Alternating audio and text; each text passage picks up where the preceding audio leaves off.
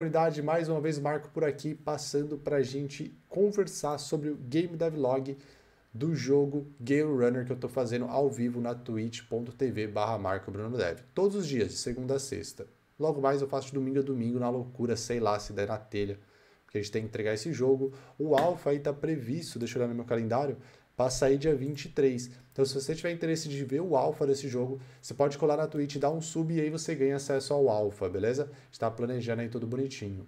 Fechou? Então, vou mostrar o que a gente fez aí para você vir trocar um conhecimento com a gente na suavidade e aprender um pouco mais aí sobre o saudoso, saudoso default, que é o que a gente está usando para fazer o jogo.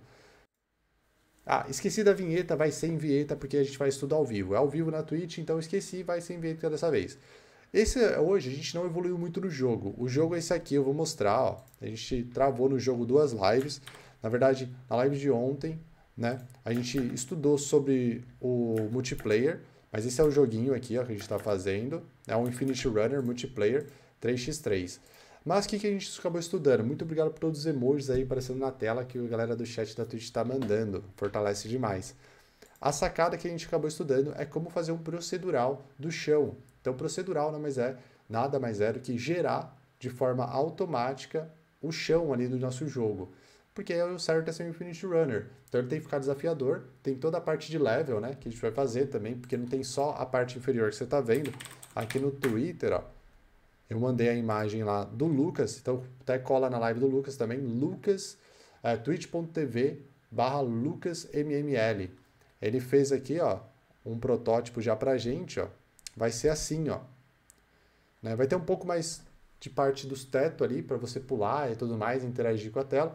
Então, por ser um multiplayer 3x3, tem que ter espaço aqui para caber seis pessoas correndo, né? Essa é a ideia.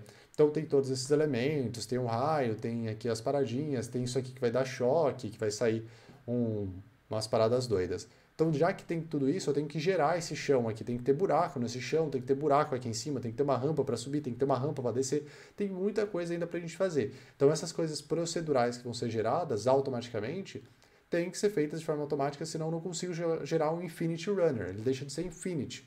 E para isso, aí a gente começou a estudar e a gente caiu aqui ó, em um monte de post, beleza? Um monte de post mesmo. Legal?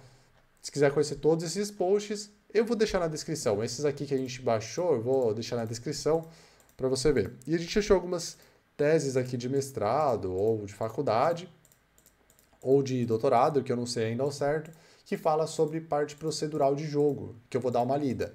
Mas tem um post prático aqui de um jogo que foi feito com default, que eu acho que ele está até aberto aqui, ó, que foi o pessoal da default que deixou, que a gente começou a dar uma lida para ver como é que é feito. É, eu quero entender a teoria, mas esse é gerado de forma procedural, tá vendo?